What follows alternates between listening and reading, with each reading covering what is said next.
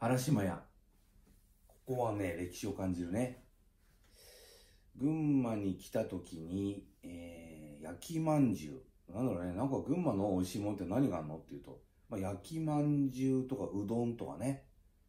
うん、長井食堂とか。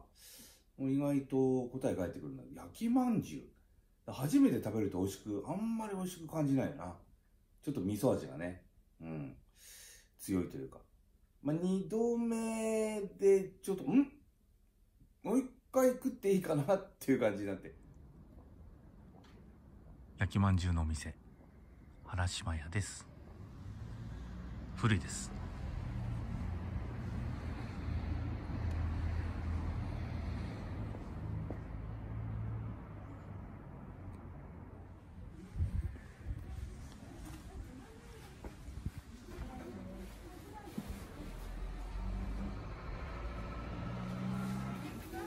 いらっしゃいませ。午前中お決まりになりましたらお待ちしてください。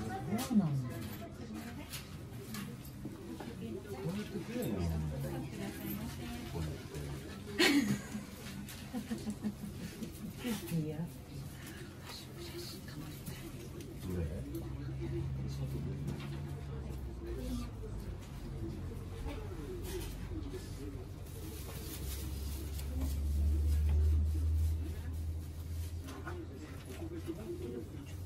だ。いや。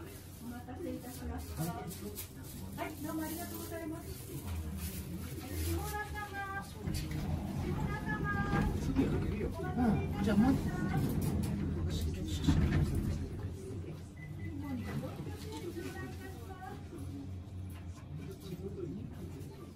まあ、二度目で、ちょっと、ん？もう一回食っていいかなっていう感じになって。うん。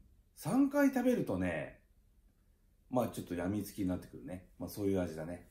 まあ作ってるとこを見るとわかるよ。なんかね、やっぱ美味しそう。でね、えっ、ー、と、オーダーする人が、まあした人がね、えー、街がね、20人ぐらいはね、軽く待てるんだな。待ってるね、ほんとね。